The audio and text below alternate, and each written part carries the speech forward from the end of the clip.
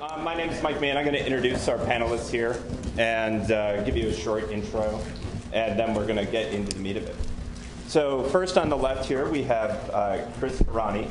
He's a partner and shareholder at the IP firm of McAndrews, Held, and Malloy. He's a leading authority in the field of design law, counseling clients on a wide range of strategic, strategic design protection and enforcement issues. Chris currently chairs the ABA's Design Rights Committee and is the past chair of the AIPLA Committee on Industrial Designs. An Egyptian Goddess, he authored amicus briefs on behalf of the AIPLA in both the petition stage and the en banc stage. He has his JD from the University of Chicago and holds a BS in engineering from Marquette University. Then we have Sarah Burstein, just to his right. She's an associate professor of law at the University of Oklahoma she has a BA in Art and Design from Iowa State University and a JD also from the University of Chicago. Her research focuses on design law, not surprisingly, with a particular emphasis on design patents. Then we have Perry Saidman. He is a recognized pioneer in design law. He was founder and chair of the Industrial Design Committee of the AIPLA and the Design Protection Committee of the Industrial Designer Society of America, IDSA. Among his many accomplishments, on behalf of Apple, he authored an amicus brief in the, the Egyptian goddess case, and it was the only amicus brief cited in the en banc petition. He has a master's degree in double E from UPenn and received his law degree from GW, where he has also uh, taught design law as an adjunct professor. He testified before Congress in the crash parts bill, which uh, Dennis mentioned earlier, and has authored many articles on design law, most recently, Design Patents Sunk in Interna- International Seaway. then we have Charles Mauro. He's president and founder of Mauro New Media, specializing in professional usability engineering, product design, and GUI design. Mr. Mauro is currently chairman of the Design Protection section of IDSA and is IDSA's liaison to the USPTO for Design Day 2013. He has been an expert in over 75 major cases covering GUI designs, product design, and his work has included design patent, utility patent software, copyright, trade dress litigation. He holds a BS in industrial design from LA Art Center College of Design and a master's degree in ergonomics from NYU. He is also a certified human factors engineering professional. And my name is Michael Meehan. I have a PhD in computer science. Spent many years as a dot comer and a computer science academic. Many of uh, those years were here. And I'm currently a patent attorney at Google. Was previously at Knobbe Martens in DC, and while clerking on the federal circuit, I had to read all their amicus briefs and help Judge Bryson with his opinion on Egyptian goddess at the en banc stage. I also went to law school here, and I occasionally dabble in the, dabble in the academic arena, uh, publishing at the intersection of law and technology. So, with that, you know, our panel members talk a little bit about what we're going to tell you today. So, we're basically going to go over the legal framework of design patents. And we don't need much of an intro here. The last panel gave you most of it. But a lot of us look back as far as Gorham v. White, famous spoons. We look at the saddle cases, uh, Whitman saddle. We look at the microwave case, Litton Systems. But then it all really hits ground with Egyptian goddess. In addition to that, uh, we have a really interesting case on functionality in Richardson, and that's really the modern world of design patents that we're going to talk to you about today. Thankfully, we have Charles here as well, who's going to talk about the uh, cognitive science of shape perception that's been going on all this time and how it affects our what we're doing in law. And so that will help us look at see what the future of design patent protection is going to be. So a few signposts for our talk today. So we're basically breaking it into two sections, no break in between, but two sections. Uh, first, Perry is going to talk to us about Egyptian goddess and infringement. Charles is going to give us a brief overview of some of the related perception research in this area. And then we're going to open up the majority of the first half for uh, panel and audience discussion, primarily based on some cases that we're going to put up, and you'll see those designs. Uh, then Chris is going to talk about Richardson and functionality. Again, Charles is going to talk about shape perception research related to that, and then we'll open it up again for panel discussion based on some cases. So without further ado, we have Perry.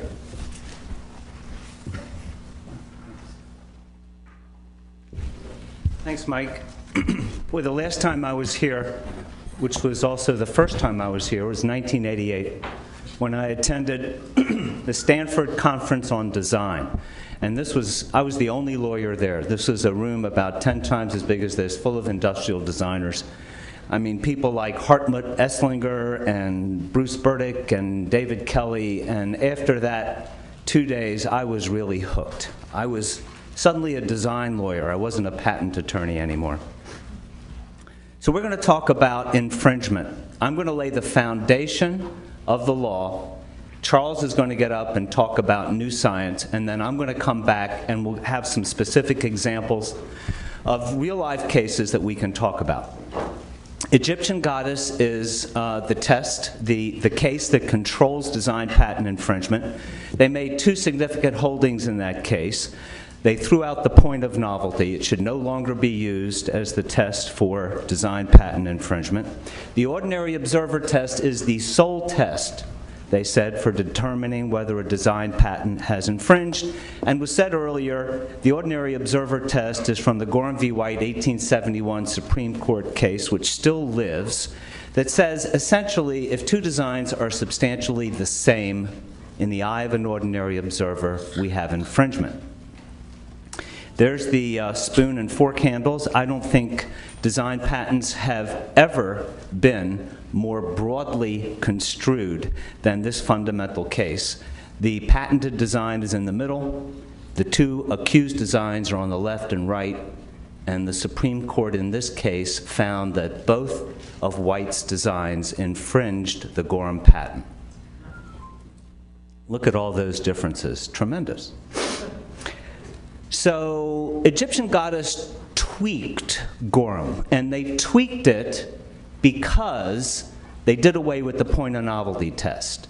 And arguably, the point of novelty test was the only objective component of the design patent infringement test, which required a consideration of the prior art. But it had a lot of problems. So the Federal Circuit threw it out, and instead they said the ordinary observer has to view the patented and accused design, quote, in the context of the prior art. But they didn't say exactly how you go about doing that. That's left for the lower courts to determine. But they did lay out what I have called guidelines. They didn't call them guidelines in the opinion, but I guess I culled about six or seven of these, and I just want to really quickly tell you what they are. Number one, when the claim design is close to the prior art, small differences can be important. And I'm paraphrasing a little bit. Guideline two, if the accused design has copied a particular feature of the claim design that departs conspicuously from the prior art, you more likely than not have a case of infringement. Number three, if the claim design a, has a combination of old features that nevertheless creates an appearance deceptively similar to the accused design, finding of infringement would be justified. Number four, and this is the big one, I want you to listen up. In some instances, the claimed and accused designs will be sufficiently distinct that it will be clear without more that the two designs do not look substantially the same. In other words, it will be clear without more that there's no infringement. Number five is kind of the flip side of that. If the two designs are not plainly dissimilar, not, then you got to look at the prior art. Number six, where there's many examples where you have a crowded prior art field, differences that might not be noticeable in the abstract can become significant to the ordinary observer. And lastly, you've got to look at the overall effect of these similarities and differences. So I distilled a lot of these seven guidelines into what I call the Saidman formulation. Actually, I didn't have that up there, but somebody suggested I should put it up there because this is not this is not a, a court formulation. This is something that I've used for many years actually as a rule of thumb and it seems to me that a lot of the Egyptian goddess guidelines can be summarized. Number one, if the claimed or accused design is closer visually to the prior art than to each other, more likely than not, you have no infringement. And conversely, if the claimed and accused designs are closer to each other visually than either is to the prior art, infringement is more likely. So, with these seven guidelines, you will notice that the prior art is part of the formulation in six out of seven of them. And prior art is not considered in one of those guidelines, namely when the patented and accused designs are sufficiently distinct. So here has, here's what has happened in the courts since Egyptian goddess. The Minka lighting case was one of the first cases decided, and a lot of courts glommed onto it. The court in Texas said, in some instances, the claimed and accused designs are sufficiently distinct, so you don't have to look at the prior art, there's no infringement. In other cases, they're not plainly dissimilar, so you should look at the prior art. So, number one, don't look at the prior art. Number two, look at the prior art.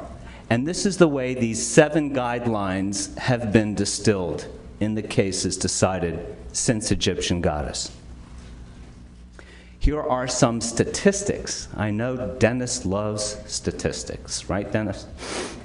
Now, this doesn't include every single case decided. It includes the, the uh, opinions that we were able to read and see the designs. Doesn't include any Apple versus. Because I'm not allowed to talk about them. We have 42 design patents that were considered post Egyptian. In 15, 15 of those, there was no determination of infringement or non infringement. 25 of those design patents were found not to be infringed. The number found infringed out of the 42 was two. Two. So the question is why? And I did some study, I did some analysis, and I have a, a, hypothesis of why. And that is, out of 42 of these design patents, the prior art was not considered in 27 of them. The court found that the patented and accused designs were sufficiently distinct. So the prior art disappeared in two thirds of the cases decided since Egyptian goddess. And even the children are amazed, amazed by this. Babies are amazed. So I want to give you my, my hypothesis of why this is. And the reason is because district court, and most of these cases were disposed of on summary judgment. District court judges are overloaded and overwhelmed, and they do not want to sit through a lengthy jury trial. It's the nature of the beast, they have a lot of work to do. So if you're a district court judge and you can find that, it, that the patented and accused designs are sufficiently distinct under some amorphous standard, which is probably like going home and say, honey, what do you think? then you're not, you're not, you don't have to look at the prior art and you're going to flush that case down the summary judgment toilet. That's my theory. On the other hand, if you find the prior art is relevant, you have to go through a lengthy difficult, more difficult analysis, and uh, your opinion is, is going to be that much um, harder to write, or you have to go to trial. So, with that as the background, I hit the wrong button. there we go. Here's Charles. Okay, thanks, Perry. There's a funny story with Perry. Last year uh, at the USPTO, I put on a session for the examiners uh, where we talked about uh, design patents and uh, how the industrial design profession sort of syncs up with, uh, you know, uh, prosecution. And I was done. We had like three presenters, and we and I said, "Are there any questions?" And Perry raised his hand and he said, "Yeah, I have one question, but I but I, I need to put my my thumb drive into the, your computer in order to look at it."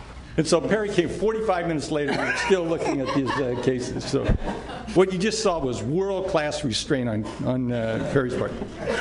Okay, so anyway, today I'm going to talk uh, briefly from the standpoint of a design professional. Uh, I worked for, for uh, many years in the field of industrial design. I still do. Uh, most of my work today actually is in graphical user interface design. But I also have a graduate degree in ergonomics, and the specialization that I was interested in, and I've always been interested in, is um, sort of the psychology of shape perception. One of the things that's happened um, in the general field of uh, cognitive science over the last 10 years or so is that there's been a very um, strong interest in shape perception as a, a, fundamental aspect of um, how we navigate our world. And what I'm going to do uh, today is just sort of take you very quickly through some uh, very high level insights, sort of more interesting research that's come up that is not embedded into uh, any of your legal practice uh, currently or legal tests, but this is, these are uh, science uh, concepts that are going to find their way into uh, this field of, of the law. So this first is first piece here. This is um, a prior art cluster diagram uh, from a case that I worked on. Any of you have worked in uh, the hand controller case, the, video, video, game controls. You know, it's a very uh, dense field of art. Uh, there's relatively moderate congruity in this large field. And what we find when we look at the actual uh, cognitive science research literature on how we look at shape in these large fields, in fact, we do uh, give more attention, as suggested in the Egyptian Goddess and the other tests, we will give increasingly more detail to uh, these uh, larger fields of art. Now, the interesting question uh, comes um, so, what happens if we eliminate the larger field of art? And for example, uh, as uh, Perry has described here in many of these cases currently, we bifurcate the uh, prior art and we essentially focus on only two controllers, which, let's say in this case, this is just an example, not the actual case. Um, we uh, extract out all that prior art. So what happens actually cognitively, and this is, I think is very interesting, the system in this, gentleman over here uh, this morning mentioned this about our ability to discriminate. And when we're actually tasked with the, with the um, absolute comparison between two variables, the human information processing system sort of kicks into high gear in terms of its ability to differentiate between shapes. So what you could say the uh, existing literature suggests with respect to Egyptian goddess is that when you strike through that prior art literature, you may well be increasing the uh, level of detail that uh, the judge or the jury is, is going to be actually giving to the examination of uh, these objects. And uh, this happens not only in shape perception, but it happens in many other uh, of our senses. Uh, sound, for example, has a similar um, impact. So the point here, and what the, what the science is starting to show us, is that the human shape perception system is tuned to detect differences. So the more we uh, encourage or uh, sort of match up the smaller and smaller number of differences, the higher discrimination we're going to get in these cases. So one could, one could think that this is, uh, you know, research that would suggest a biasing on the part of those uh, making these types of decisions. Now, the question is, and, and one that's very important to experts like myself, is should judges and juries actually be making these kinds of determinations? And, and this is a, I just put a, a um, diagram up here on the screen. Uh, this is work from uh, Daniela Bühler in uh, London. Uh, she uh, is a PhD, uh, just finished her PhD. And she developed this tool. And essentially, what this tool does is it positions a product in the center uh, and are positions like products around the outside. And you, and you ask uh, uh, research, uh, respondents to move, drag the uh, objects closer or further away to the center object. Um, now, what's interesting about this uh, and what's important is that a methodology like this allows you to randomize the presentation of the stimulus, standardize the presentation of the three-dimensional objects themselves, and to do a form of sort of basic conjoint analysis. What you end up with in the end is actually an objective measure of the relationship between the accused, the patented, and the prior. And this is what uh, Perry was talking about. So these types of tools are going to find their way into these uh, types of uh, analyses. Uh, this second um, principle, uh, very well uh, known, this is from Stephen Palmer, well-known piece here. Um, and the question is, what impact does uh, prior experience have on our evaluation of the shapes or the similarity of shapes? Now, when this first came up, you probably saw this as random dots. Um, once you see the Dalmatian in this, what's important about this, and of all of you now, have you detected the dog? Okay. What's important from a cognitive science point of view is once you structure your visual perception in this way in a complex field, you can never go back. So what this shows us, and what the uh, cognitive science is beginning to show in even more robust way, is that we make decisions about similarities and differences almost instantaneously, and we do so in a way that can't be dialed back. So when you're uh, presenting, uh, you know, at, uh, at a jury trial, the way in which the material is presented, the order of the material, uh, the way in which it's way in which it's categorized, we believe now, based on the science, is going to have a very big impact on how it's actually perceived. Uh, fascinating uh, additional field of research. Uh, it's the difference between actual shape and perceived shape. And as uh, lawyers, experts, uh, design patent um, law tells us that what is in the design patent is actually structurally what the uh, ordinary observer sees. But we now know from an extensive uh, field of research that what we see is actually, uh, what we perceive can be substantially different than what is actually uh, structural. Okay, so I'm just going to move along here quickly. In this previous uh, slide here, you see the cat, um, and then if I remove context, uh, what we now see are abstracted symbols which, have, uh, which are the actual physical object. But the difference between the perceived and the physical uh, is something that we now know uh, has a big impact. This is especially important when brand names are associated with the visual design of products. So, for example, a famous study uh, done in London, they looked at teapots and uh, they evaluated the visual attributes of these teapots, their shininess, their quality of design. Second study, they put the names of the, of the manufacturers up there. The Alessi teapot, if any of you know that's a very high quality design teapot, was judged as better designed, more shiny, and a, um, a better representation of, uh, of what they thought was excellent design. Uh, okay, we'll save this for if anybody has a question about Apple Samsung. okay. Uh, this uh, final piece here, uh, one, one of the other uh, aspects of, of uh, uh, shapes perception research that we see is going to have a big impact in design patent litigation, especially, is this whole idea that formatting the comparison of the accused and the patented in a way that reduces extraneous stimulus. This is a concept very well known in sensation perception research.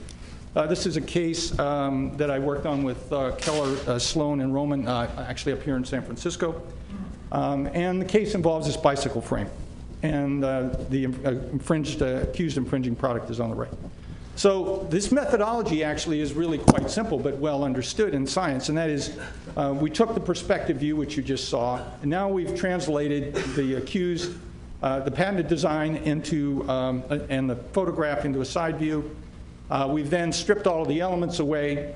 And in fact, what we do in the next step is we take the, the actual patent drawing, we put it in Photoshop, and we put a 50% uh, filter on it, transparency, and we have a professional photographer exactly overlaying the patented design with the infringed design. So what you actually end up with, now here's the patented and the infringed design painted white, uh, and there it is converted to the actual same exact line drawing style as the patent. So what we've done is extracted extraneous, we've taken away extraneous stimulus, and we've created a compatible format. Uh, then you can go one step further, and once you have them in this format, uh, you can do various forms of technical analysis. This is just known as a transformational alignment. So when you present, or you think about presenting uh, similarities and differences, the ability to structure the stimuli for the judge and jury is, is going to be extremely important in the future. And um, I'm not going to spend any time on this, but once you have that stimulus created in that way, there's a wealth of existing uh, psychoperceptual research that can be applied to the evaluation of similarities and differences. If there are any judges in the room, don't get the wrong idea here, but I'm really not convinced as an expert in this field that this level of uh, evaluation of similarity and differences should be in the hands of a judge and jury. It's actually, the science now is much more complex than we thought. Uh, this is Perry's uh, example of Perry's chart. That same case. Uh, here we see uh, the accused and infringing uh, closer uh, to each other than to the prior art. It's a relatively robust prior art field. okay, thank you.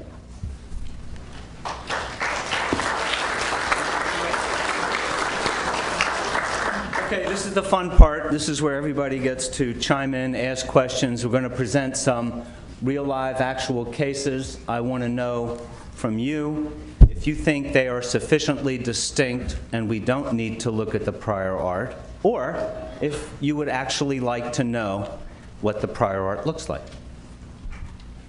Sufficiently distinct. All right, this is, a, this is the Minka case, the one that did this original division. These are uh, standards for mounting lighting fixtures outdoors. So, show of hands, you're not going to be graded. How many think the patented and accused designs are sufficiently distinct? No need to look at the prior art. Let's throw this case out of court. How many think you'd like to look at the prior art to get some context? I have a bias here. I have a bias. All right, let's have a look at the prior art anyway. the court felt that they didn't need to do that, and the motion for summary judgment uh, of non infringement was granted. But, you know, let's look at it, guys. Okay, there you have it. So I've looked at this a long time. How many now think that there might be a case of infringement? In other words, the motion for summary judgment of non infringement should be denied. I'm not saying the patentee wins or loses, I'm saying maybe this is a jury case. How many think that? How many think, ah, it's a loser anyway, the patentee, throw him out? Okay, so I've looked at this a long time and I identified three features that were common to the patented and accused designs which were not in the prior art.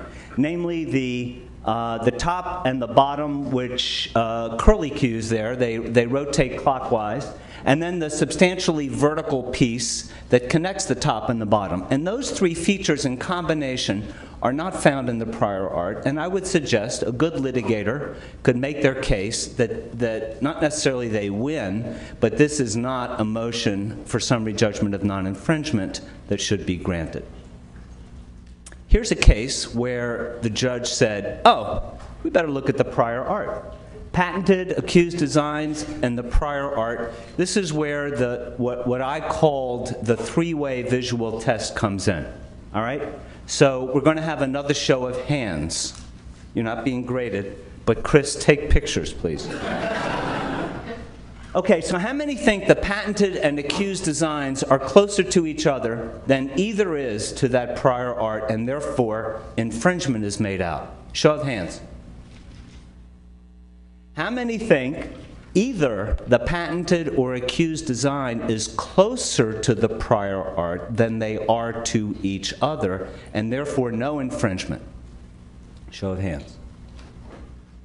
Well, that's exactly what the court found. The prior art has a blade shape far more similar to the patented design than the accused product. Notice the overlapping fan blades that are common to the patented design in the prior art.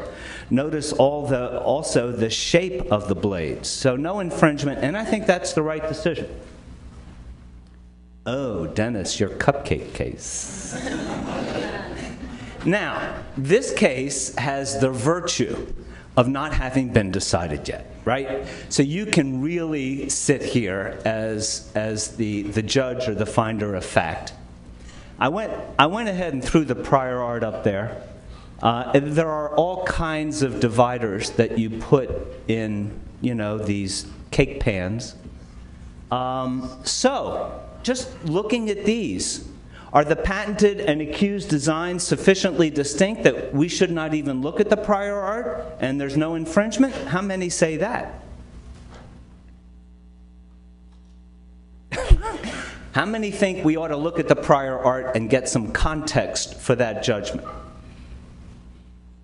And of those who have your hands up right now, put your hands back up. How many think that there's infringement? Keep your hands up if you do. Well, I applaud you because at least you, you, get to the part of saying, let's look at the prior art, and even in light of that, there may not be infringement, right? We don't know how this case is going to come out, and I think it's going to be discussed in the functionality part of, of, uh, of the presentation a little bit later on. Um, I have Uh, I was going to say no opinion, but I do have an opinion. I think that this is a classic case, a classic case of a designer, inventor going to their patent attorney and being misguided to a utility patent, I mean, to a design patent instead of a utility patent. This guy had a good idea, and the idea was let's make a cupcake divider, I mean, a divider in a cake pan in the shape of a cupcake. And if he had got, he could get a utility patent claim on it. I could draft it. It's useful, right? And the accused design would infringe it. But, you know, he wanted to go on the cheap, get a design patent. Oh, yeah, the rest of the panel, you don't have to sit there mute. Please, speak up. no, really. So if you jump back to your first example of the standard, This one. yeah. So maybe maybe it's really a matter of design patent scope, which Elmer says is very narrow. Why would it be that looking at the prior art gives you a broader claim scope than not looking at the prior art? Well, my point is, if you're asking me personally, I'm asking you personally. not looking, You do seem to have- lot, not looking at the prior art just doesn't give you a frame of reference at all in which to judge the similarity. Mm-hmm. I mean, if the prior art is crowded, if there's all kinds of stuff around it, then, like, like the court said, small differences can be important and can be magnified. But if the prior art is in left field, then we can stand some differences between the patented and accused designs that you might not ordinarily think would be a foundation for infringement. Professor? I think another uh, way to get at what Michael's getting at is, uh, under an ordinary test, you might look at two things and say, those things are sufficiently dissimilar that I don't care what the prior art is, they're not close. And then in that analysis, prior art would serve only to further limit uh, infringement in a circumstance where you would otherwise think, yeah, these things look pretty similar. If those similarities look like they come from, or at least are close to the prior art, then we, we might want to further narrow infringement. Uh, but you might do the gatekeeper analysis in the first instance and say, you know what, these two things just don't look anything alike. Yeah, like these two things. Yeah. Right. right. Or, and, and I think, you know, I think the cake example is a great example of that, right? Because the prior art you put up there, I, I'm, I'm taking your word in it that that's the closest prior art there is. Um, It is. that's got nothing. that's got nothing to do with these two designs, right? But I don't think it follows from that fact that therefore there's infringement. You could say those two designs are sufficiently different that I don't care what the prior art. Well, and this is exactly the problem with the whole concept of a sliding scale approach. Effectively, where you put prior art on one side, you put the patented design on the other side, you put the accused design right in the middle, and then you say, you know, is it closer to the prior art, hence non-infringement, or is it closer to the patented design, and then Hunt's infringement? And that last part doesn't follow, okay? Because those things still could look, not look alike. I mean, take, for example, a situation where you had a cell phone, and go back in time maybe to early 1990s, where you had this sort of this chunky uh, flip phone, okay? Um, and, and there's a famous uh, inventor named Tony Colida. You might see this, he probably has the most amount of Federal Circuit opinions ever written about him, everyone negative. Um, but uh, uh, in, any event, his cell phone is it's a very coarse idea of this flip phone. But if you were to compare that to the prior art, it was quite a leap. I mean, what existed prior to that, it looks quite different from. So now you compare that to maybe a sleek, a sleeker looking clamshell phone circa, let's go within 14 years, say 2003 or something like that, putting ourselves back in that time period. Is it closer? Is that chunky flip phone closer to that sleek cell phone than anything in the prior art? Yeah, it is. It, it certainly is. But does that mean that there's infringement? And I think you know you have to be cautioned that this this is really just a rule of thumb. This idea of this relative test, or at least I would submit that that it's just a relative test, a good rule of thumb, maybe for attorneys sitting down at their desk trying to give a quick opinion on infringement. But to say that it equates to infringement, I, I would I would highly caution that. Yeah, nobody should say it, it equates to infringement. I don't disagree that there might not be a holding of infringement in this case. Well, I mean, also the prior art in this situation here. Let, let's let's take a moment to think, what is the prior? What should populate that third panel of the analysis? I mean, in this particular situation, he's looking at, this is the cited prior art on the face of the patent. And it goes- goes back earlier to our discussion as to, you know, what did the patent office dig up in, in their, in their uh, examination? But of course, it is the prerogative of both even though Egyptian goddess says it's the defendant's prerogative to populate and bring forth prior art, and presumably in an attempt to try to shrink the scope of the claim. But sometimes the patentee will want to do this too, because if he can show that, the, or he or she can show that the patented design is quite disparate from the prior art, then you get this notion, wow, that really was a pioneering design. And the fact that this accused design is sort of cuddled up to it that, be, that is actually illuminated when you show that the prior art is quite far. So, uh, you know, maybe as this case proceeds through interrogatories, through discovery process, more prior art will be augmenting the pool, and therefore it will it starts changing. But it does bring this question: Is should the scope of a design patent is it so it's never known the date it's issued? It's always seems to be it's contingent upon the prior art that's unveiled during a litigation. Well, that's a huge problem. In addition to the fact that, uh, you know, Perry's presentation made me go back and look at Egyptian goddess again. I see no support for this broadening use of prior art. None. I mean, it seemed like this, the Federal Circuit expressly saw the prior art as a way to limit the scope of a patent. And again, for the predictability reasons that Chris brought up, I think that's really important. You know, is it is the scope of your patent going to depend on just what someone can dig up in a Minka lighting catalog, which are extensive, I can tell you. There's a lot of prior art out there. So these are important questions we need to be talking about. The other thing that's uh, interesting, I think, as well, is when you have, uh, specifically, let's take the patented design, the, the fundamental um, property that's important in shape in- and its role in, in our world as we look around here is the ability to look at something and put it into a category instantaneously. That's the number one process that takes, takes place uh, cognitively. So when you look at just this patented design, and you don't see cake up here, in fact, you may find in other uh, bodies of prior art, like say um, ice uh, scrapers for windows or other types of products, you may actually find prior art that's relevant to that specific visual design. Because that design does not suitably differentiate itself for categorization in, as a three-dimensional entity in, you know, in our world. So you could, you could expand the prior art uh, to other categories, I think, in some cases. This happens to be one of those cases. Most you cannot. And I think what's happening here too, they're, they're limiting this prior art based upon a sort of an analogous art type of limitation. But, but if we take our sort of thought process through anticipation or even through infringement, you were talking about toys and the actual car today. I mean, why, why can't this just be an image? I mean, I mean, why can't this just be an image of a cupcake? I'm sure you can find one in a catalog pre whatever this is of just the image, and why can't that also inform um, the, the, the analysis? Um, and because we're always looking also at prior art, and we're talking about the scope of these designs, but uh, in the cell phone example, over time, remember these are the men and women of the jury box. They're going to come equipped with their everyday sensibilities and their experiences. So if they've become more equipped to, to discriminating between different designs, you wonder that is the scope of a design patent strongest on the first day it's issued? Okay? Because think about the, think about the paradox there. Over time, your audience, their perceptions, they're becoming more acute at discerning differences. And so, as time goes on, cell phones are a perfect example. People are becoming more and more uh, able to discern differences. So, it's really a subject of perception, so so foreign to the utility patent world. Another example? Yeah. Bring it on. Yeah. This is my light at the end of the tunnel.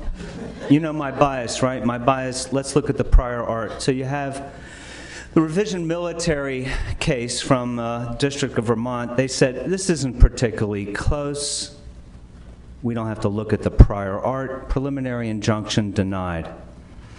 This is what they this is what they found. The shape of the lenses are different.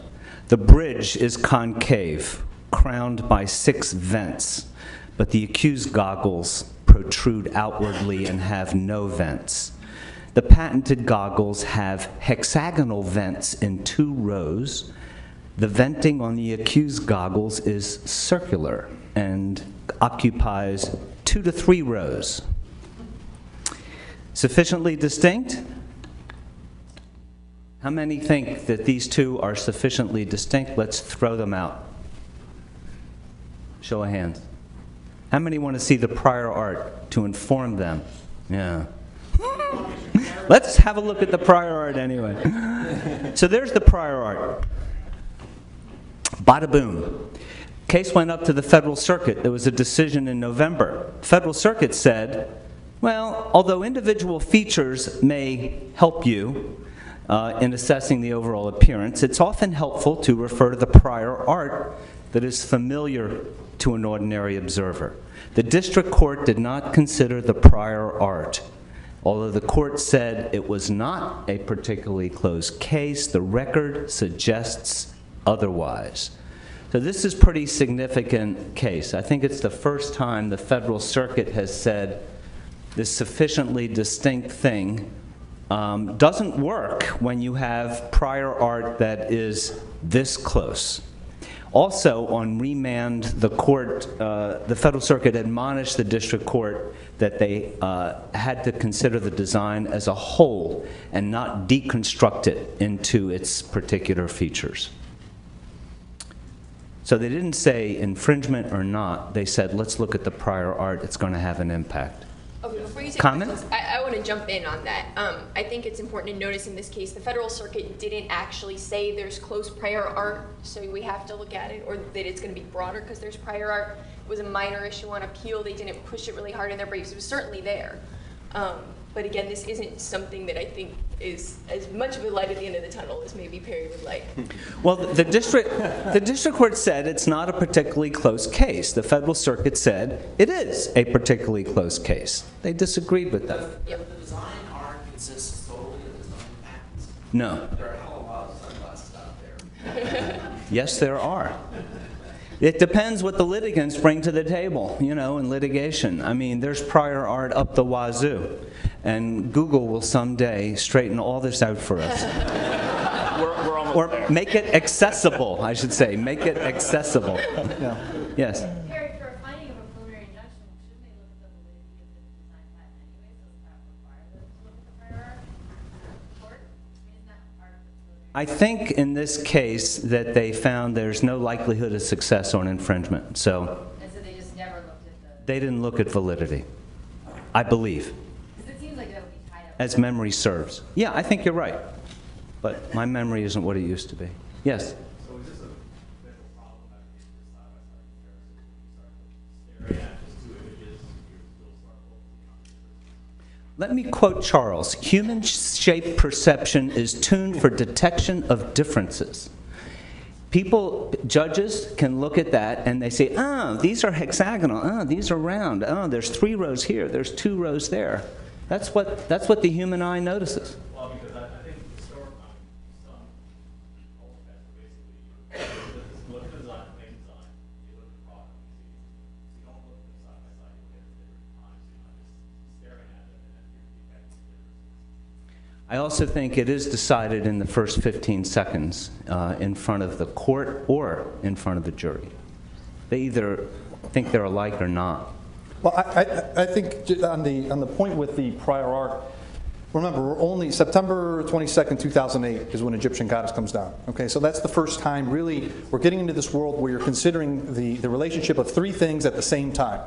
Prior to that, with the point of novelty test, you would look at your patented design, you would look at the prior art, and find differences. So you're only comparing two things.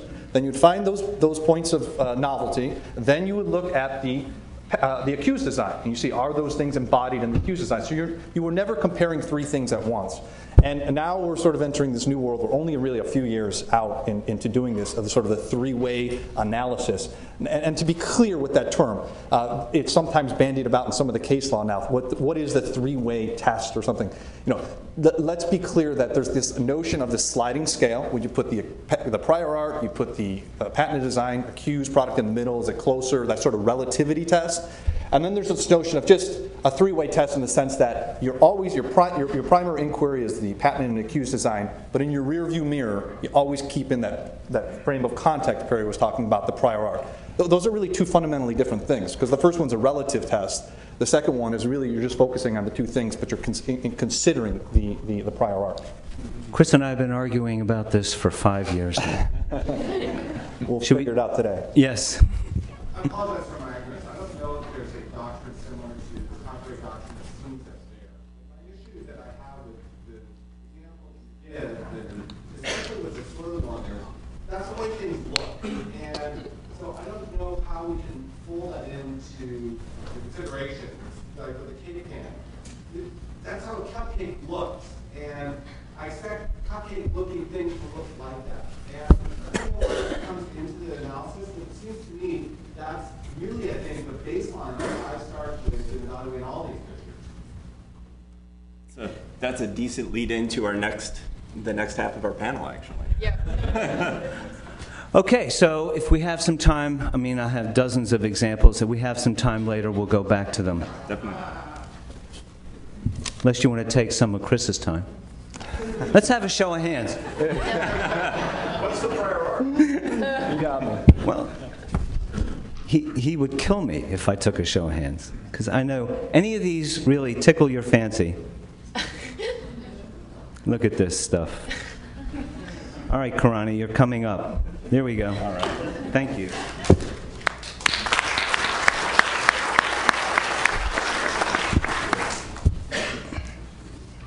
Well, I don't want to chew up too much of, of my time, but I recall when I was a law clerk working with uh, Judge Pallmeyer in Chicago, I had a design patent case, and I uh, didn't was just at a loss for looking for any type of scholarship. I mean, we're getting some great scholarship from uh, from the academy now, but there wasn't there was a paucity. And so I looked out there and I found these articles by none other than Mr. Perry Saidman. And I recall as a young law clerk, uh, I called him up, picked up the phone, called him, and just started picking his brain. He spent about an hour and a half on the phone. He says, "Wow, that's really cool. There's a you know senior attorney giving me this all this time." Well, now I've learned after all these years that he just wanted someone to talk to. but, nevertheless, uh, Perry has certainly been a pioneer in this in this in this area. True, true. No one else wanted to talk about design.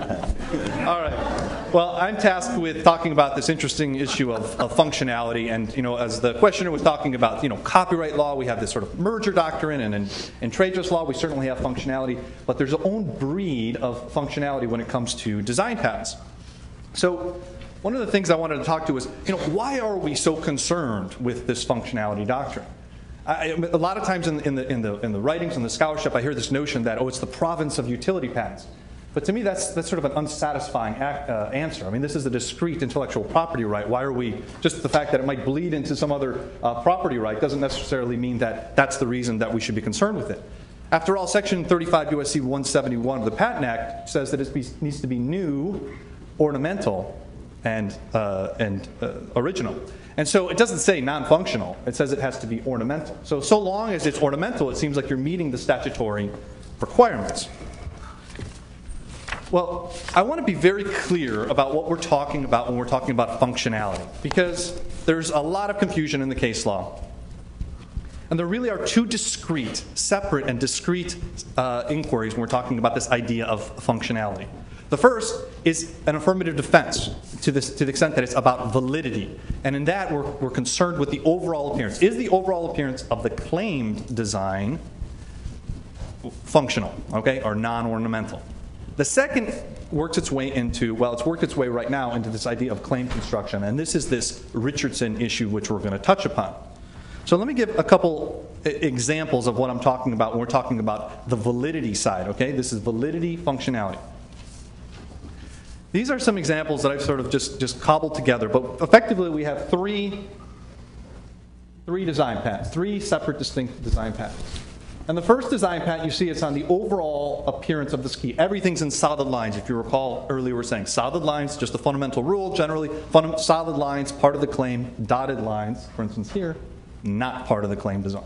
So, here, the question that, that's been articulated by the Federal Circuit is Is the overall appearance of the claim design dictated by function? This is this notion of this what they've been called the multiplicity of forms theory, in the sense that are there other ways? Has any design actually gone into this? Or is it the mere fact of the idea of what you're trying to do? Is this the only way that it could spit it out? Is this the only way that this, could, this, this item could look? Well, of course, there's a constant battle as to what, what is this, what is the function of this item. But here, for instance, this could the, the monkey on the top of the key on the keyhole could look quite different, right? I mean, that doesn't have to be a monkey. That could be a, a tiger, an elephant, or Perry Saidman. Um, now, in the second example, you'll get there, Perry, you'll get there. In the second example, now we've sort of pared back. We've gotten rid of this particular keyblade, and now we're just claiming the top. And so the same question is the overall appearance of that portion which is claimed dictated by its function? Well, it's only to hold the key, so not, not, it could probably take, uh, take myriad forms. So that one I think we're okay. Now you come over to this one, and this is sort of the tricky one because you're just claiming the keyblade. This is really based off a real case. Uh, the Best Lock case goes back to the Fed Circuit 1997. And we are just talking about the keyblade. Now that's all that's being claimed. Remember, we're talking about validity here. Is that keyblade dictated by its function? And the Federal Circuit in this particular case, in the Best Lock case, held that indeed it was. That keyblade was dictated by its function. There is no other form that that could take. And you wonder, uh, that opinion, that's, that's been out there. In fact, that's the only, as much as we talk about functionality, that's the only published Federal Circuit opinion where a design patent has been held invalid on the account of in, in, the functionality. This is the only one, is this best case. A few other district court cases. So because as long as we've, we've been beholden to this idea of the multiplicity of forms theory, if you can show other types of designs could achieve the function, therefore, therefore you're in the clear. Now, but doesn't that beg the question, what is the function? Okay? Who's to say that this keyblade is designed to matingly engage a particular keyhole? I mean, that's not in the four corners of the document, right? That's not there. We don't see it there. I mean, this key could be a, maybe a charm you put around your girlfriend's neck, right? It doesn't have to take this form. Or it could be a toy, right? It could be a toy. So it doesn't have to take this form. So you wonder if the court sort of looked at these externalities to arrive at this particular decision. But again, the key here with this first inquiry is validity. The validity of the patent is the overall appearance. Now, let's go to the second inquiry here. This is this whole Richardson issue. This is where it's this never-ending, uh, the, the, thirst of the judiciary and, uh, and accused infringers to try to dissect design patents into constituent parts. And what we have here, here's the key. The, the uh, patentee claimed the entire key. And now the question what has been asked in this Richardson case is, is the appearance of the claimed design feature dictated by function? We're talking about features now. So now we're going to go down from a macro level down to a micro level on a granular level. And the question is, is this portion, should this be considered when you're having an infringement determination with this particular keyblade? You see that there's differences up top, but should the similarities, the gross similarities with the key uh, blank portion itself, should that be considered when we're determining infringement?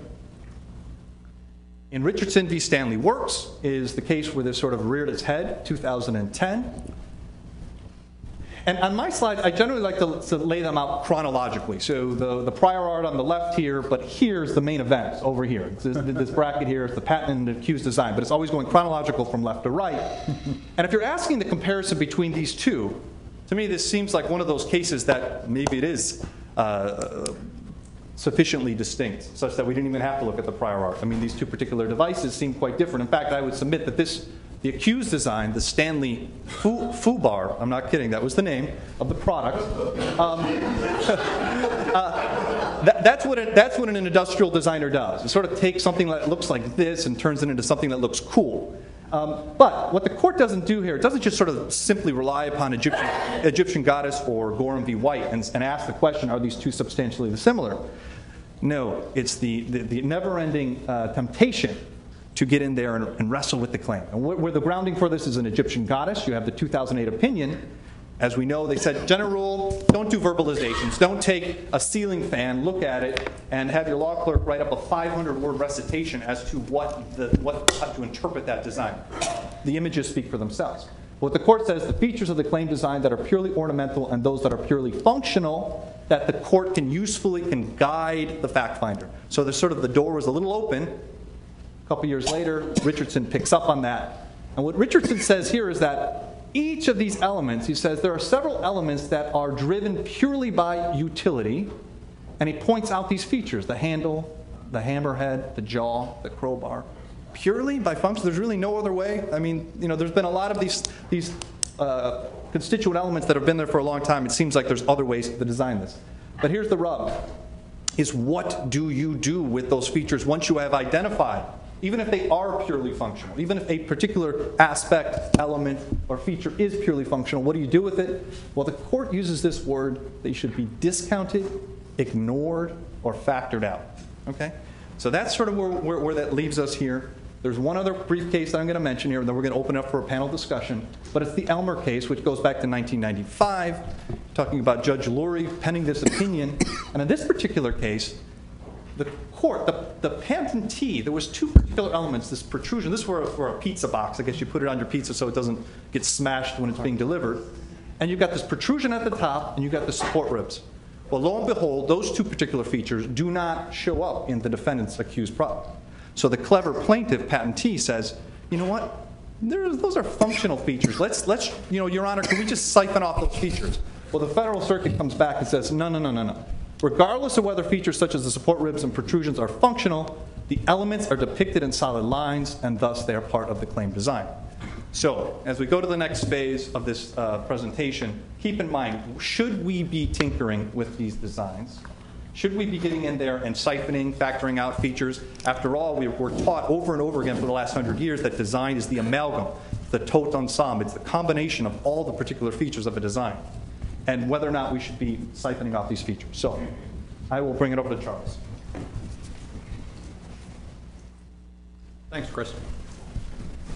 Okay, so let's talk about um, what we do here um, from a formal product design point of view.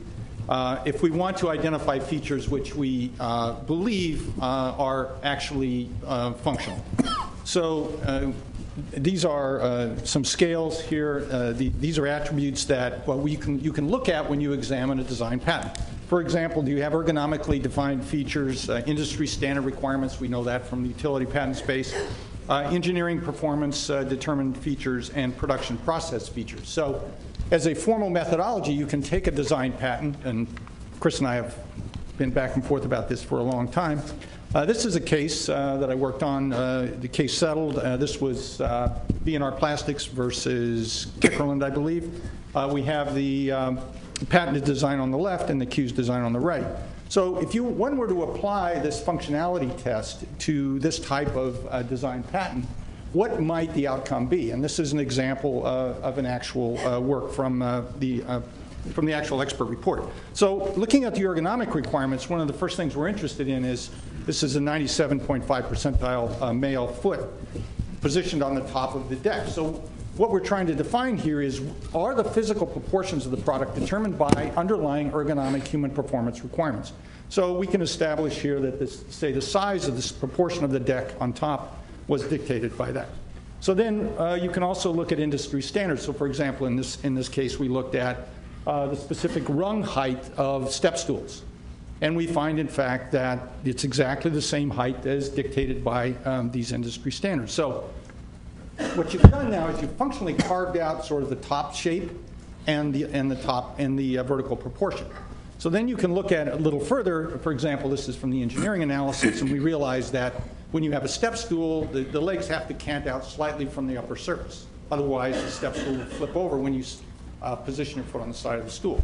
So now what we've captured is the top, the height, and the angles of view, uh, the angles on the side of the step stool. Now, we could say from a, uh, an analytical point of view that these are now functional attributes of the visual design claimed in the design patent. Um, so then the next thing you can look at is the production uh, derived requirements. It turns out that this product by B&R is extremely clever. They, what they did was they used only three molds and they produced the entire stool. So what happens is you produce a mold and the parts are symmetrical, so they flip them and snap them. So what you actually see now is that these functional requirements, uh, production requirements over here on the uh, right, um, are not uh, the same, I, I actually dictate that design as opposed to those on the left. So now you've taken the functional analysis to the next level. So what you end up with, if you want to look at this sort of as the functional envelope of the designed claimed uh, attributes of the product, is this physical representation. And it's very interesting to take this kind of approach in almost any product that you may be uh, looking at. And as a matter of fact, uh, the group together talked about the cupcake case. We're going to do that in just a minute. And it's, it's very revealing. So the question then becomes, um, what functional, what features, design features remain in the overall claimed functional shape, uh, uh, design shape. So the key point here and where the cognitive science comes into this is that you cannot extract, as claimed in Richardson, physical features from the de- design patent. You can attenuate them visually, and that's essentially what is done here. These, uh, the main line drawings from the design patents and the accused are filtered back at about a 70% level, and the actual uh, non-functional design features are retained in red. So what you have is the extraction of these features based on uh, the functional analysis uh, as defined in those four key variables. So we have the cupcake case.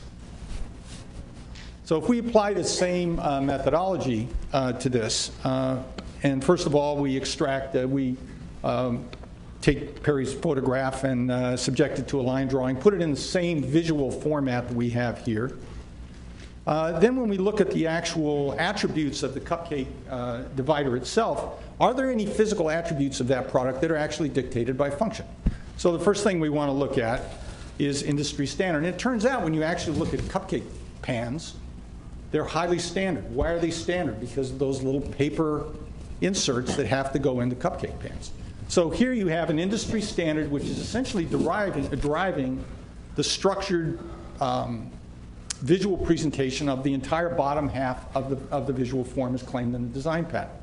You can then look at um, ergonomics, and what you see is that the size of the, the portions on the top, the grips, uh, their relative orientation, the height above the uh, fill line on the, uh, on the tray, all of these can be technically thought of as functional as well. So you have now defined a, or I would guess a better way to, you sort of dissected the design patent for its functional attributes. Incidentally, Chris and I go back on this all the time, so we're not totally in agreement on this. Uh, and then, of course, you can um, define those elements which are actually truly ornamental. So in this design, and same analysis here. So what you have now are those features which are uh, truly ornamental. Now what's important is the major contributors to the overall impression of similarity are the functionally derived elements. That is the key point here. So you have to make sure that when you do this type of analysis, and incidentally, this case just happens to fit beautifully with this type of work. Many cases do not. But this is the type of um, sort of analytical processes that are starting to find its way into these cases.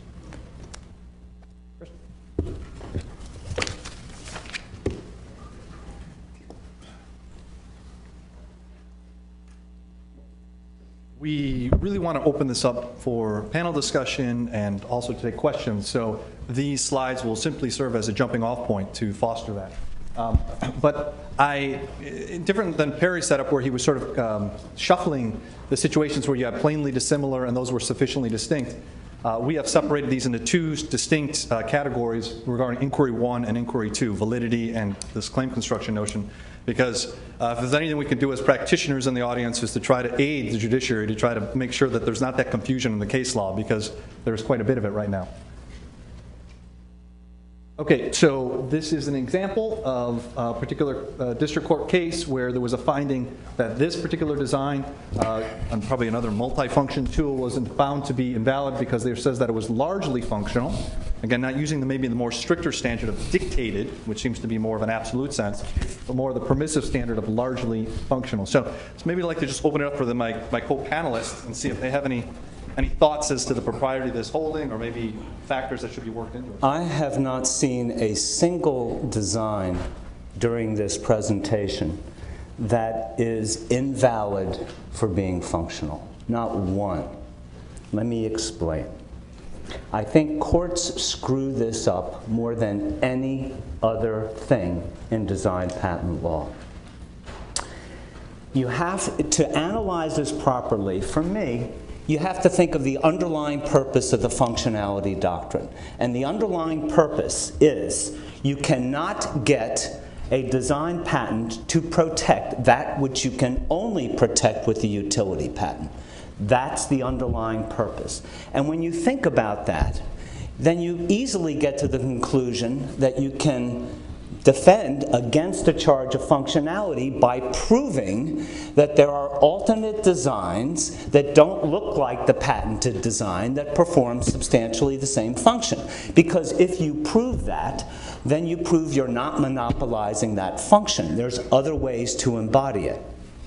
Now, every single element in every design patent has functional features, individual features, and overall features that perform functions. This does not mean that the that the design patent itself, the patented design, is legally functional as a matter of law. Those functional features can and are, in every single case I have seen, ornamental. There is, uh, courts screw this up all the time, just like in this case. They see elements that are functional, functional, functional. In the Richardson case, this performs a function, that performs a function. The fact is, you can only get design patents on, quote, articles of manufacture, unquote. And if your design doesn't perform some sort of a function, go get yourself a copyright or hang it up in, in MoMA because you're in, the, you're in the wrong IP department here. You need to straighten out the courts. Just because that element performs a function does not mean it is legally functional as a matter of law. So I challenge, and I've given out this challenge many, many times. If anybody can show me a novel design that cannot be embodied by any other design and perform substantially the same function, I will buy you dinner. At Wendy's. Oh, it's novel. So I'm not going to show you one. What I'm going to suggest is that the fact that you uh, uh, made that point so effectively suggests that that's not the right test for functionality. It's not the test for functionality we use in trademark law, for right? It is not the case that if I could show a single alternative or even five alternative ways of doing something, uh, that therefore it's non-functional. Uh, so one possibility is we want to test, we need a test for functionality that's broader uh, than the one you've articulated. Another possibility is that we're asking the wrong question when we're asking is your patent invalid for functionality, and where, where functionality belongs is in the infringement piece, right? And so that uh, when Christopher gets up and he says, hey, look, the only similarities these muffin uh, separators have are the functional elements, um, that's got to be that's got to be relevant, right, to the, I'm sorry, maybe it was Charles and not Christopher. Uh, that- that's got to be relevant to the infringement analysis, whether or not we think that the presence of these non-functional ornamental elements ought to save the rest of the patent. Well, you're dissecting, I would, I would challenge, you're dissecting the claim design. Those elements are only functional if there's no other way to make them look to perform substantially the same function. And I disagree with you. I think the same problems in design patent functionality are found in trade dress functionality. Just look at the Becton Dickinson case from, from the Federal Circuit, or was it the board, uh, that was decided last year. Same exact thing. They picked out functional feature after functional feature, and they said, this is all functional. We can't give you trade dress protection. Now, there's other factors in, analysis, in the analysis of trade dress, but this alternate design thing, I think, I think courts just get block-seed up when they talk about functional features that are, that are not necessarily legally functional. I think Judge Rich had a very, very good discussion of this in the Morton Norwich case. And he suggested that all the features that perform a function should be called de facto functional, but the overall design or the design features are not impermissibly functional if they are de jure functional. And you have to, you have to take this to court. You have to help the, the judge or the finder of fact distinguish between de facto functional and de jure functional. You know, th- this, uh, you can see, even with this discussion, we've, we've gone from talking about functionality in the validity context, and now we're already jumping down to an element by element uh, consideration, which is more this Richardson, Richardson issue. And then furthermore, you start confounding it. There's different policy considerations at stake with trademark trade dress law than there are in design patents. I mean, after all, we're talking about a right in potential perpetuity as opposed to a limited right. So I don't think it should be that strange that there should be a different test for each. Um, So anyways, let- let's just, just a couple more examples of, this is another example um, where you- the court had found, albeit this was on a preliminary injunction stage, but the court held that the design patent, uh, the overall design was dictated by function. That's the test that the court is using. So, uh, but again, this begs the question as to what is the function? You see, this is a battleground for litigants. I mean, a defendant's going to try to say, oh no, thi- this, uh, this forms, uh, you know, only try to give you uh, viewability or something like that, whereas the, the plaintiff will try to f- have a narrower function when they're trying to argue this particular issue. But it was a finding of invalidity. There are 100 million different designs for that particular product. Right. Minimum. Next, exa- next example here is with respect to this uh, port or this cord, and you can see it's attaching. And this is the other side of the spectrum, uh, Professor Lemley, where, where you find a situation where using the multiplicity of forms theory, we're saying, are there any other designs? If not, then uh, you can you'll have your answer on functionality. But here, they're listing these features. Okay, these are sort of a factor-based test, which you're seeing on the other side of things.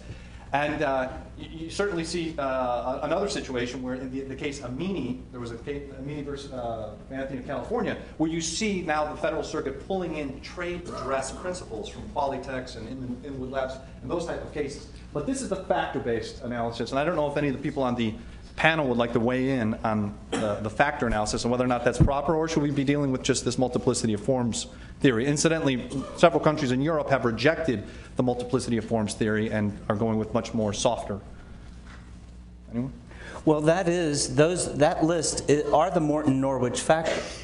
Right. That's what they are. They are the trade dress standards. And I think, Chris, that you are actually right in, in saying that trade dress standard for functionality should be easier to prove functionality in trade dress than design patents because of the potential infinite duration of trade dress protection. That makes sense to me. Should be more difficult, in other words, to prove design patent functionality because you're only talking about 14 years. Right. Okay, uh, well, so those are the, those are the ones we're talking about validity. Again, you're looking at the overall appearance of what the claim design is. And now we're going to get into this notion of functionality, how it in fact or gets into claim construction vis-a-vis the Richardson line of case law. And same case, now, the idea here is that the court is talking about this particular feature here, and the court notes that indeed it could have been designed in an infinite number of ways, and therefore it will be part of the claim design. Um, but again, underneath this all, let's keep in mind should we even be going through this exercise, this idea of parsing out post hoc features of the design? I mean, after all, the patent office themselves, they don't do this. They look at the overall, that's what they're discharged with, the overall appearance of the claim design. And now, after the fact, we're going to dissect this, start eliminating, turning the design into effectively a piece piece of Swiss cheese. I wonder if we should be going through this exercise at all. Designers, I mean, just think about Pythagoras and, and, and the golden mean, right? I mean, the spatial relationship between particular elements in a design, what is it, 1.618 or whatever, but between the two designs, there's the, the harmony between, within, the internally within a design. When we start siphoning off features, you, you ruin that spatial relationship between the elements. So, any panelists want to weigh in on this one, or anybody in the audience? I, I think you can extract, uh, not physically extract, but I think you can, you can attenuate features based on their functional presentation and retain the impression of the whole product. And I think that that, as a structural concept, is something that a designer is very familiar with. Because oftentimes when you think of design, especially industrial design, it's, it's a, like Perry said, it's a commercial embodiment of some type. So, I I mean, structurally, I don't have a problem with it. I think if you actually remove the features, then you clearly have altered the perception of the shape. That's totally clear. So, so that's fair. So, you know, if you don't use this masking tape approach where you mask over certain features, but then I guess the next step is that, you know, uh, recently on a trip, I think a bunch of us were in the UK at Oxford speaking about this, and I listened to some of the Lord Justice Jacob talking about design. Well, you know, we don't have, they don't have a jury system over there. So this is the, jur- this is the judge. He's able to weigh these considerations, perhaps attenuate was the word you used, some of these functional features. How would you suggest that this is communicated with the Seventh Amendment? How are you going to communicate to that effectively to a jury to say, you know, that feature should not be uh, considered?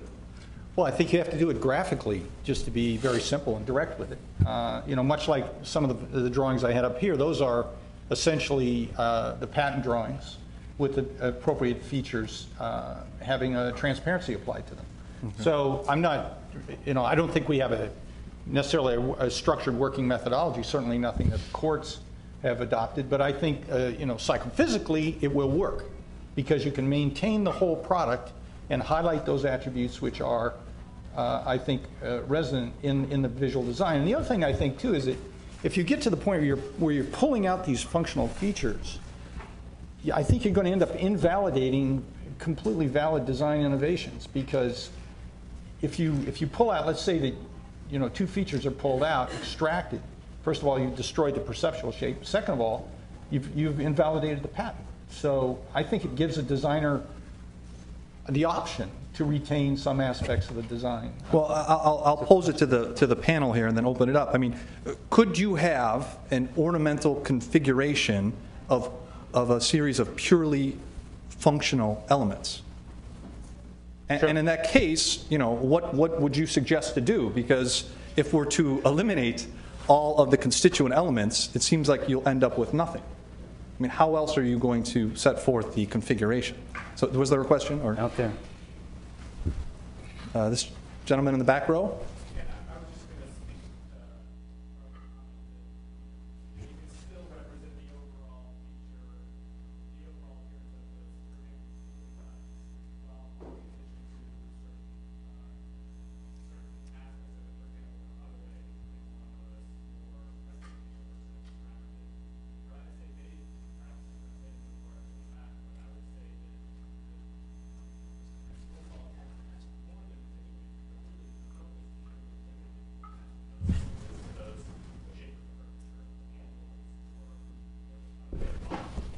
Yes, I agree with that in that illustration, uh, and that was done specifically for, uh, that was an ITC matter done for the judge, uh, where we did, in fact, there was a lot of conversation with uh, counsel about how much, what the thickness of the red line should be, how, what what is the conspicuity between the foreground and the background, and we chose a, you know, a much more aggressive approach. But, uh, yeah, I think that's correct. Depends who you represent. And so one of, one of the interesting things about this claim construction is the flip side of it is notice. And it's, it's very hard to imagine how someone at a competing company gets any kind of notice from these design patents. The, uh, the Elmer standard in that way is, is a pretty good standard because what the, you know, the dark lines are what the claim is regardless of functionality.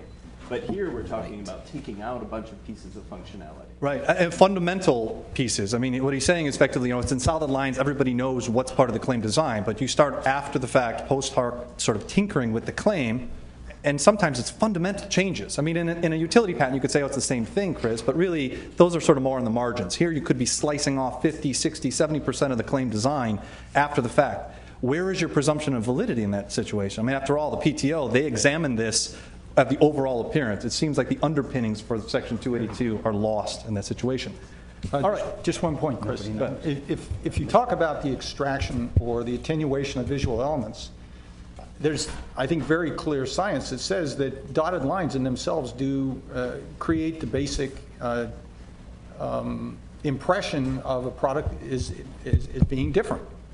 So you can look at the science around that and say, okay, you've got a shape perception here, and you've dotted out the, let's say, the, the outer piece. That, in perceptual terms, is actually a different design.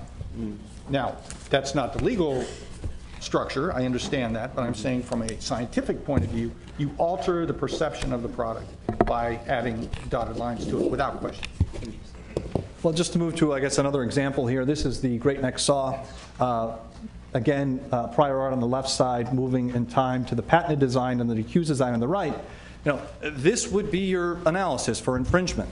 But what courts are doing vis-à-vis Richardson is going to the next step and saying, given its functional nature, the blade lock means is not entitled to protection.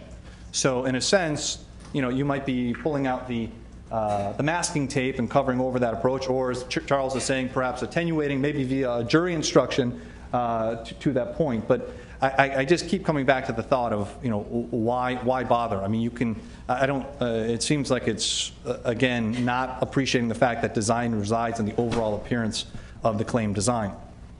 Everything in that illustration performs a function, everything. Okay, so this is uh, the case that um, Charles was talking about, this BNR plastic step stool case.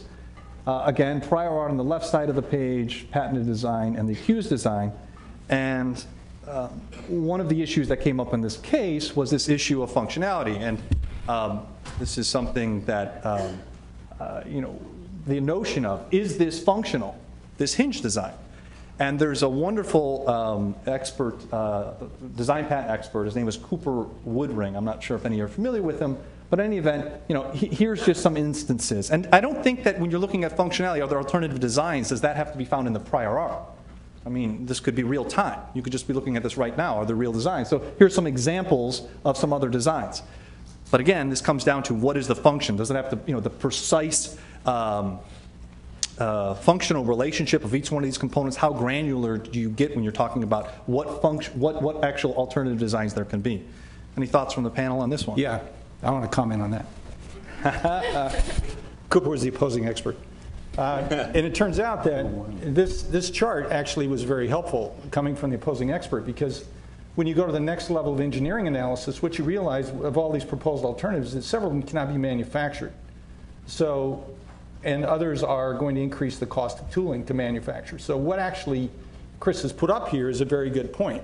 If you come back with a discussion that is, uh, you know, going after the question of functionality, you better know what you're doing on the other side because at the end of the day, the changes that Cooper put up here were actually not valid. And the case settled before we got to that point. But the, Yeah. So you can see that there's this notion where Charles, as, as on the defendant's side, is going to a very granular level. Is the physics, are the physics, the physical relationship between each one of these achieved in one precise way, whereas the plaintiff's attorney or plaintiff's side might take a broader approach. I mean, all these have to do is matingly engage and, and provide the, the function of a hinge. Uh, question here in the red, uh, green shirt. Yeah, um, I guess we're talking about this a lot from a litigation perspective. Taking these manufacturing route, would you suggest, um, uh, suggesting some a- adding in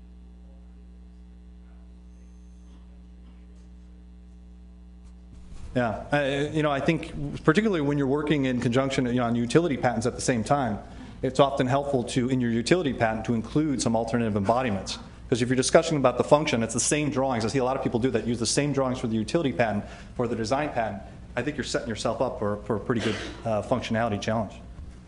Uh, go ahead, Beth. Um, my question is, let's say that you are, um, I don't know who the parties are in this case, but let's say that, um, the accused infringement, the accused product actually uses a different hinge. Then if the discussion, is decided that the hinge in your design patent should be factored out because it's functional, then can I make the argument that the design, that the hinge in the accused product should also be somehow factored out? So that we're not comparing, again, later on the accused infringer can't come back and say, well, you know, my hinge is different. Yeah. I'll say, well, that's not part of the claim anymore, because you just argued that it shouldn't be. Yeah, yeah. You, you see these arguments in the alternative going back and forth, and sometimes it's nice if you're a plaintiff's attorney to show all these different alternative embodiments. Here's, you, know, you go to the Art Institute School of Design, ask them here, draw me a hundred different designs, and then it's very powerful in front of a judge or a jury saying, and which one did the defendants choose? They chose our design.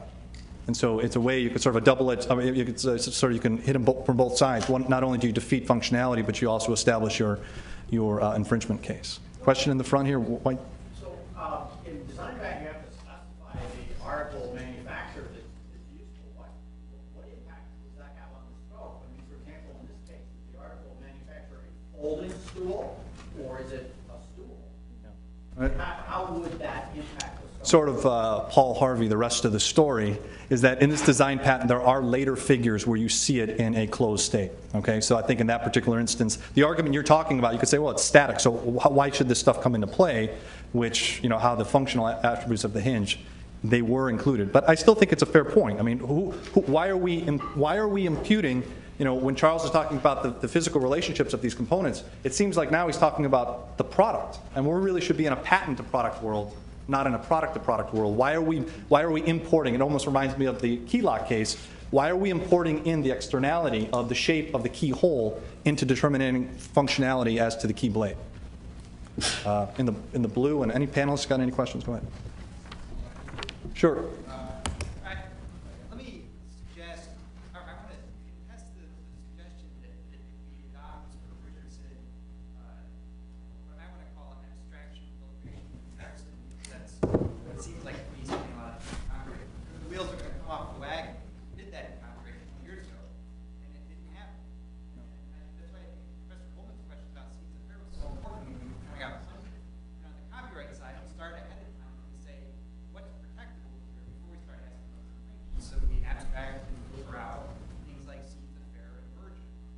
Yeah. And that, the expression dichotomy here is uh, ornamental functional, so we, we, we filter out the ornamental relative to functional elements, then look at at what remains. It, it, the orientation, I mean, the, the structure and organization of those functional elements can still be considered. Uh, and I think that's what we do with copyright, and for the software copyright, as is well known. Well, the, the, the big difference, I think, between copyright and design patents is you have a claimed design in design patents that undergoes examination and issues with a presumption of validity. In copyright, you don't have that. So you have to figure out in the first instance with an unexamined copyright registration what's protectable.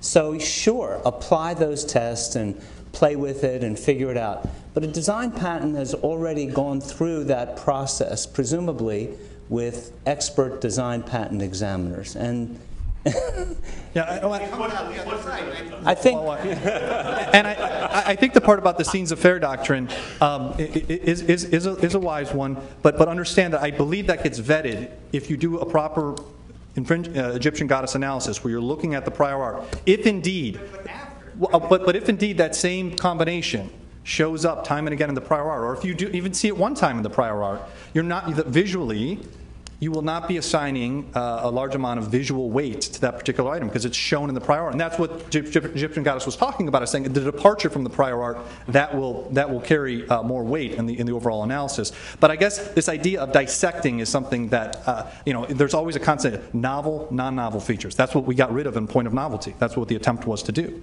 And then you've got ornamental, functional features or significant, insignificant features. Eh, Again, design, at least in my opinion, is the overall appearance as, as claimed, so far, so long as it meets the statutory requirements. Just one point I wanted to make about design alternatives, um, because I've used design alternatives, especially early in my career as an expert. And you can create very robust design alternatives uh, in the form of models. That's what industrial designers do every day. And um, in the legal context, when those are presented as design alternatives, what I found is oftentimes the judge will exclude those because they are not actual commercial product. So you have to be, I think, astute about how you use that um, as a, as a concept. If you don't have actual functional prior art um, that's a commercial embodiment of some type, um, talking about design alternatives like hinges, then it's a problem. I have to request leave to respond to the 1% comment of Professor Linder. 1%, 99%. Seems like we can't get away with that. I am going to agree strongly with what Rob Katz said earlier. The nature of designs and the design process is you wind up with a novel, unique, ornamental, new, original, and non obvious design. It's just the nature of the beast. There is no prior art to it. They are examined.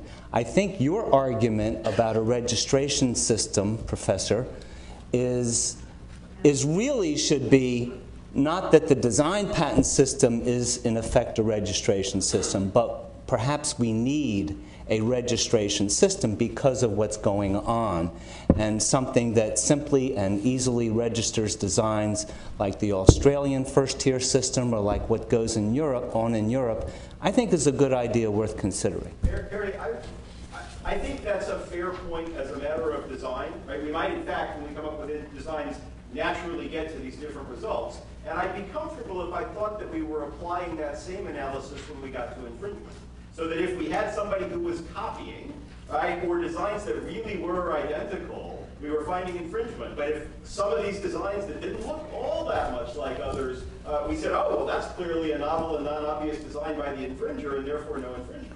The more we're willing to broaden the scope of the right on the infringement side, the more nervous I get about the, uh, the conclusion that validity is easy to pass. so you're suggesting an identical test for design patent infringement? I'm not suggesting that, but I'm suggesting that the, what's troubling me is the disconnect between the low standard uh, that makes it easy to get the protection, right? Uh, and, uh, and a broader conception of what the, what the patent is.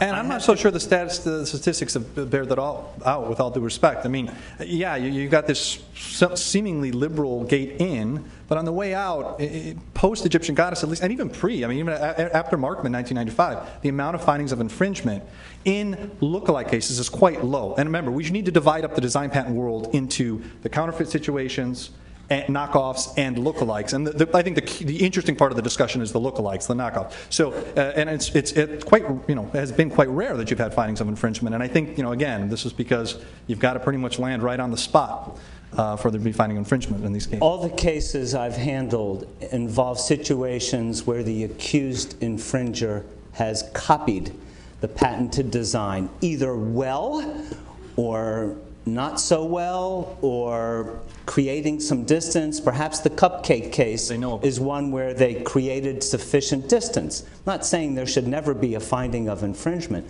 but most of the cases, the, the defendant has really copied what you're doing and come as close as they can without actually being identical. And a lot of those cases are not litigated. A lot of those cases are settled, and the ones you see on these slides are the not so close cases.